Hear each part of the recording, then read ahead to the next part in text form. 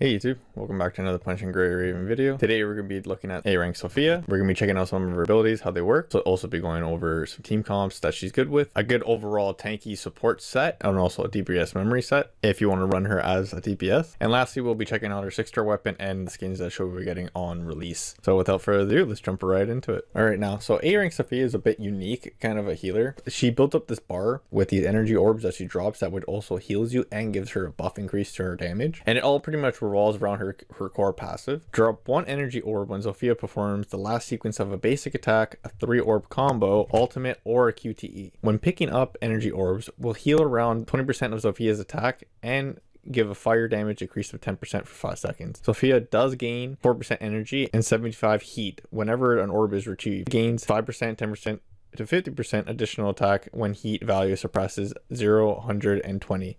And basically the heat will be this little bar that she gets at the bottom. You're going to want to try to build that up as best as you can. And you want to try to keep around a 70 to 80% of that bar up most of the time when you're using her. If you're going to have her out on the field, pretty much all her three orb combo or every time she does the last sequence of her basic attack, she will drop another one of those orbs when she performs the QT and when she performs her ultimate. You're going to be able to pretty much build up that bar pretty fast. And the higher you get into like the SS and SS plus, that whole uh, combination you're going to go through with her attacks to, to gain a higher higher orbs to increase her attack even further will be a lot faster and you'll be spamming her ult a lot quicker too. As you can pretty much see, her kit is going to be healing plus buffing of fire damage. And to go over her ultimate, she gains energy and fire for 200% of fire damage, constantly drawing nearby enemies in and dealing 20% fire damage each time. And it also explode for 600% fire damage at the end uh, and also does drop two energy orbs. So that's pretty good. So yeah, again, you can see her kit's pretty unique as a, as a healer. And now if we jump into some team comps that we can do with uh, A-Rank Sofia. Alrighty, as you can probably guess it, the best team for her would be the obviously a fire team. And with Sofia added into the game, it will be finally a full team of fire units. A-Rank Sofia will be the healer on the fire team. S Karina will be the fire DPS. And S Nanami would be preferred tank as well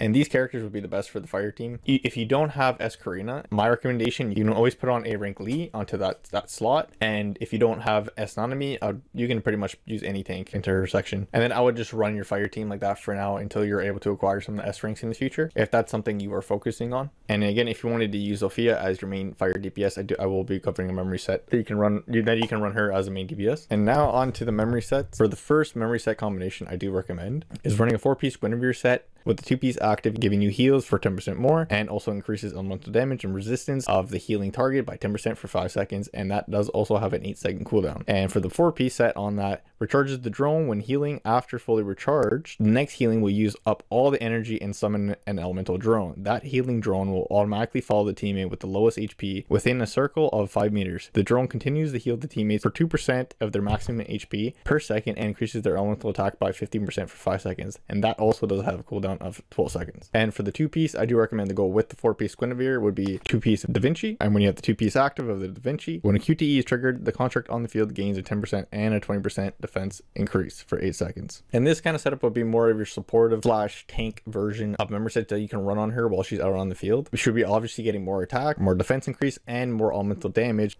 and personally, I do feel like the set with Sofia run really, really, really good with her. Um, you can also take off the Da Vinci if you really want to and can run the two-piece Cody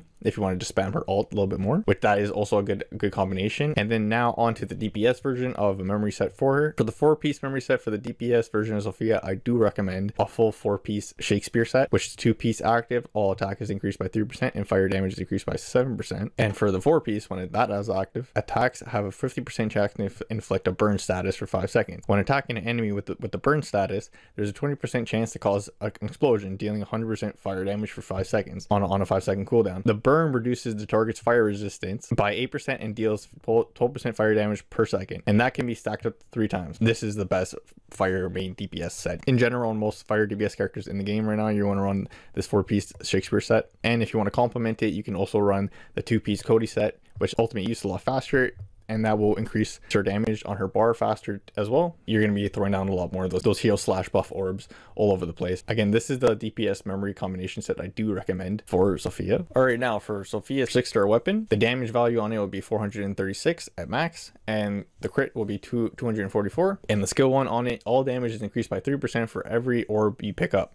Stacks up to five times. After picking up five orbs, you do gain an additional skill orb and 10% energy. And that will be on a 10 second cooldown. So you can see obviously her six star signature weapon will complement how her skills work. All right, and lastly, now if we check out her skins, and this is how her base form is going to look at Max Awakening, which personally I do think this one looks the best one on her out of the other two sets. And uh, for the first alternative set, you'll have this black on orange kind of coating on her. Uh, this one is the second best one in my opinion. The orange on her shirt does match her eyes, which I do like that, and the little clips in her hair. And then the last one will be this generic just t-shirt kind of skin, and she has like a little gear on it. It's okay. Uh, again, this is my least favorite skin on her. Me personally wouldn't I wouldn't be acquiring it. But if you do like it, all the power to you. Get whatever skin you like. Play the game how you like it. Don't let anyone tell you otherwise, because then the game's not fun.